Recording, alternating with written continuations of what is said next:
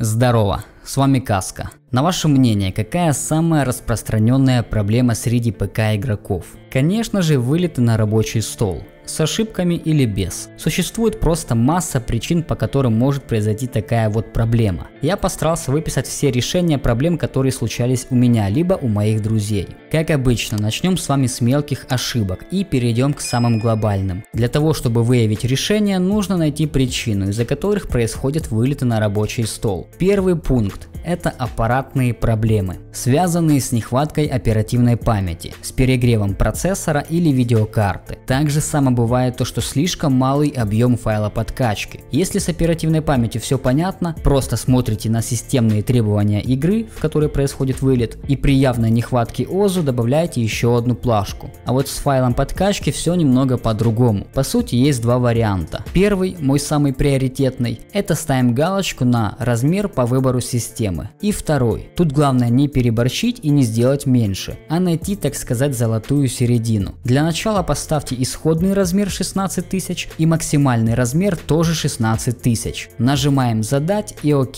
Тестируете, играете, проверяете. В будущем можете подстроить уже под себя. Допустим поставить по 8 тысяч или вообще по 6. Теперь по поводу перегрева процессора и видеокарты.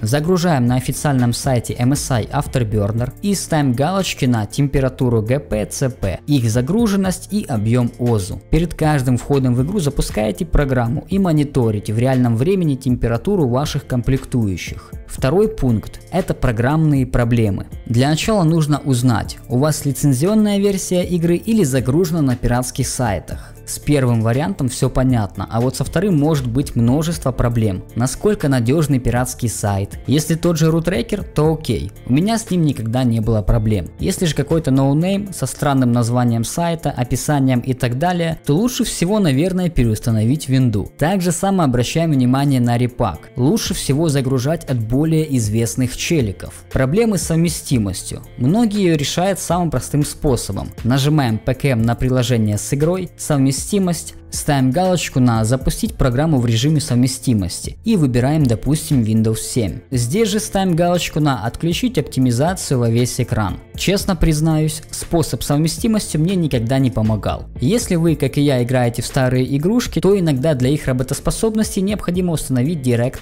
Play. Нажимаем поиск и пишем панель управления. Переходим на программы и компоненты. Слева нажимаем включение или отключение компонентов Windows. В открывшемся окошке опускаемся слегка вниз и находим компоненты прежних версий. Нажимаем плюсик и ставим галочку на Direct Play. Проблемы с драйверами видеокарты либо с чипсетом. С видеокартой все намного проще. Заходите на сайт AMD или Nvidia, вбиваете модель вашей видеокарты и загружаете драйвера. Установку пока не делаем, а нажимаем поиск, пишем панель управления, переходим на программы и компоненты, опускаемся чутка вниз и находим драйвера вашей видеокарты. Если у вас видеокарта от Nvidia, то просто берем и удаляем поочередно все 5 приложений с названием Nvidia. Если от AMD, то ищем Radeon Software. Также само удаляем и делаем перезагрузку вашего ПК. После того, как ПК включился, делаем установку только что загруженных драйверов. Теперь по поводу чипсета. Если вы его обновили, допустим, через программу Driver Pack Solution, и после этого начались проблемы, как это было у меня, что даже винда не загружалась, пришлось сносить полностью. Если винда у вас загружается, можете попробовать удалить или откатить версию вручную через диспетчер устройств. если не получается, то можно его как раз таки и обновить. Как это делается на Intel, я хз, а вот на AMD проще простого. Пишите в гугле, допустим, B550 чипсет и самая первая ссылка amd.com. Переходим на нее и загружаем наш чипсет. Все это обновляете и перезагружаете ваш ПК. В крайнем случае придется сделать откат системы, а лучше всего переустановить винду. Перед тем как расскажу более редкую проблему, которая у меня произошла не так давно, я скажу одну самую главную вещь. Все остальные решения проблем это просто детский лепет, которые если и помогут, то только тому, кто засрал всю реестровую систему. Запомните, в любой непонятной ситуации я советую делать следующее. Загружаем оригинальную версию Windows 10 допустим на официальном сайте. Делаем установку винды с полным форматированием всех жестких SSD дисков, для того чтобы был у нас чистый реестр, без вирусов, без ошибок. Как запустилась система, загружаете все последние обновления для той же Windows 10. После этого качаете репак и проверяете. Если до сих пор вылетает, загружаете репак от другого челика. Если уже и там вылетает, то проблема скорее всего ваших комплектующих. Допустим тот же самый жесткий диск. У них есть такое свойство, они могут как долго жить, так и быстро улетать на помойку. Все, лучших вариантов чем перестановка винды просто не существует. Третий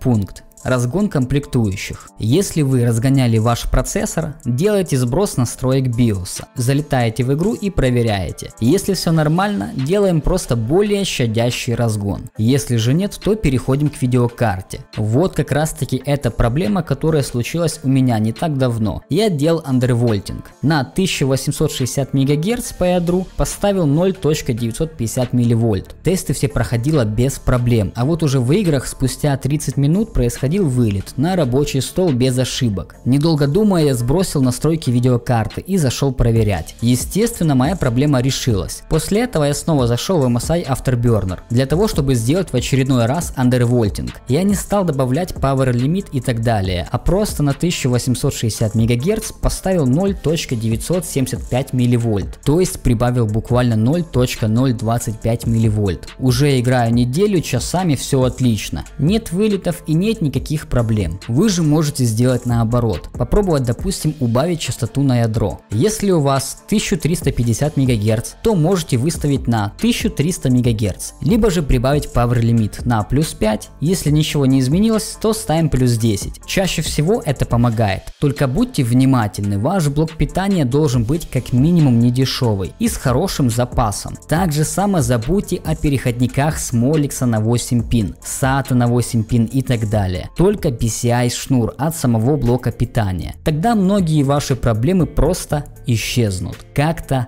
так, если ролик вам понравился, если было интересно, буду благодарен за большие пальцы вверх и подписку на канал. До скорых встреч!